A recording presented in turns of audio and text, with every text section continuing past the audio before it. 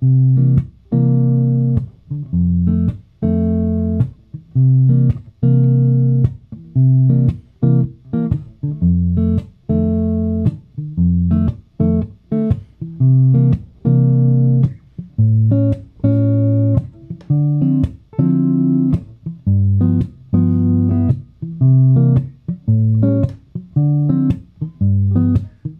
learners in Learning Land. Tyler from 10thumbspro.com. Today we're looking at a 12 bar blues, but it's jazz. So basically, what I'm going to do is I'm going to show you how to take your 12 bar and modify it to make it much more jazzy. If this is the kind of content you like, make sure you hit subscribe because we do new guitar tutorials every single Monday. We'll have all the tabs on the screen, but you can get a printable version by becoming a Patreon. Links are in the notes. My email's in the description if you want some one on one lessons. All right, grab the guitar brain attention span, follow me on in, and let's learn how to level up our 12 bar. C7, C9, C11, C13, those are all appropriate and they all substitute for themselves in this kind of style. So we're gonna play C9, which is three, two, three, three. And the rhythm's gonna be thumb, the bass, then you pull up on the D, G, and B strings. One and two. Then you tap it on the second beat. One and two, and. Then on the and, you pull all of them. One and two, and. That ring out to the fourth beat, and then you give it a tap. One and two and three, four. Then you're gonna come back, and now, second, it's a quick change. We're gonna play an F7, just an F major, remove the pinky. Similar rhythm, one and two and three and four. The only difference is, before the four, we're gonna play again. So we go bass, pluck, mute, or tap, pluck. One and two and three and four. C, third measure, same as the first. Then the fourth measure is the same rhythm as the second measure. We go one and two and three and four. So we get that and and four. These four.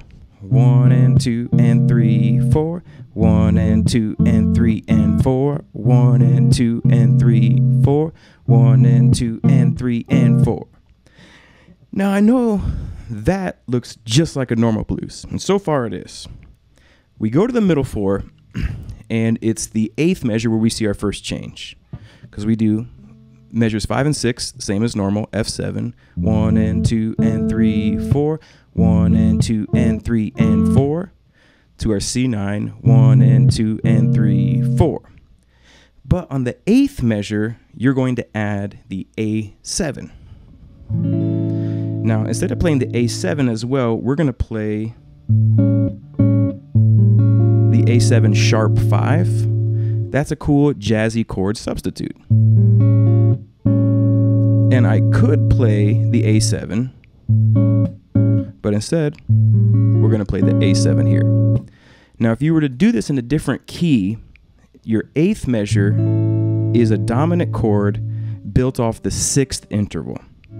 If you look at a chord chart, you can see in the key of C, the sixth interval is the A. So you could use a chord chart as well to know what the sixth interval is if you were going to do this in a different key. These four measures will be one and two and three, four, one and two and three, four, one and two and three, four, one and two and three, four. I'm not playing the A string, so it's five, skip the A string, five, six, six. And it's a movable shape. This is a G sharp 5, B sharp 5, C sharp 5. Cool chord. Turn around. Two chord, but you're going to use a minor. C, D. If we use our chord chart again, we can clearly see in the key of C that our 2 is D. Instead of a minor 7, though, we're going to play a minor 9, which is 5, 3, 5, 5. And then for the 10th chord, you're using the 5th. So that normally the turnaround would go 5 4, but we're going 2 5.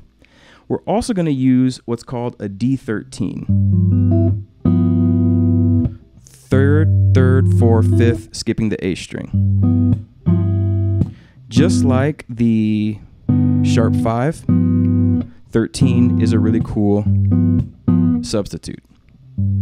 Very jazzy, very dense. Then for the last two measures, we go one chord, the key we're in, six chord, two chord, five chord. So put those together slowly and you get.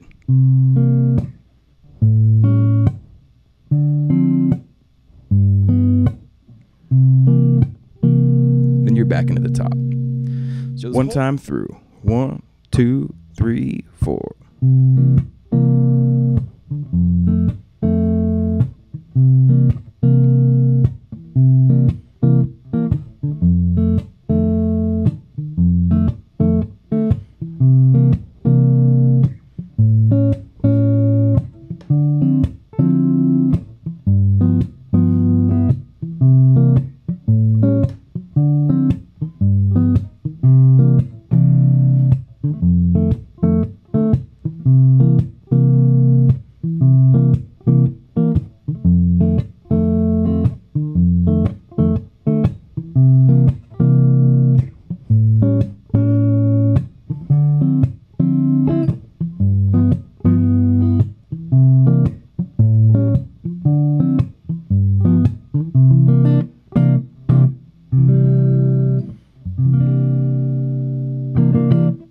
There you have it, folks.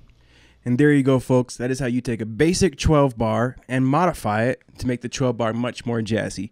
Now, in terms of soloing, you can use the minor pentatonic, but you can also move around a little bit. Use the major pentatonic, use the blues scale, use arpeggios. You can even get the bebop scale in there if you want. Okay, make sure you subscribe. New guitar tutorials every single Monday. If you play ukulele, we do ukulele Wednesday and Saturday as well.